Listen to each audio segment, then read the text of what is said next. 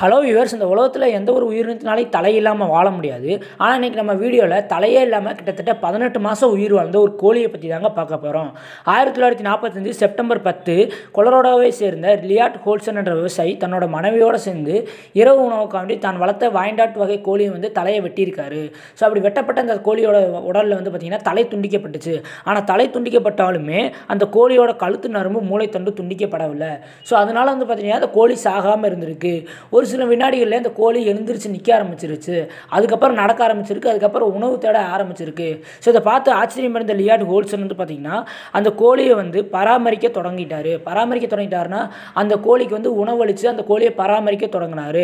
So அப்படி பார்த்தீங்கன்னா அந்த கோழிக்கு உணவாக வந்து பார்த்திங்கன்னா தண்ணீரும் பாலும் கலந்த கலவையை கொடுத்துருக்காரு. அதுக்கப்புறம் வந்து பார்த்துட்டிங்கன்னா சிறு சிறு தானியங்களை உணவாக கொடுத்துருக்காரு. இப்படியே லியாட் ஹோல்சன் கிட்டத்தட்ட பதினெட்டு மாதம் அந்த கோழியை பராமரித்து வளர்த்துருக்காரு.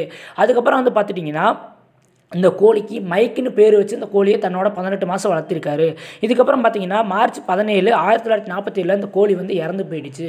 ஸோ அது இருந்த இந்த உயிரோடு இருந்த அந்த பதினெட்டு மாதமும் இந்த கோழி ரொம்ப பிரபலமாக இருக்குது ஸோ இந்த கோழியை பற்றின தகவல் எல்லா பக்கமும் பரவ ஆரம்பிச்சிருச்சு. ஸோ நிறைய பேர் இந்த கோழியை பற்றி நிறைய விதமான ஆர்டிகல்ஸ் எழுதியிருக்காங்க ஸோ இந்த கோழியை வந்து பார்த்தீங்கன்னா மைக் தி ஹெட்லெஸ் சிக்கன் செல்லமாக கூப்பிட்டு வந்திருக்காங்க.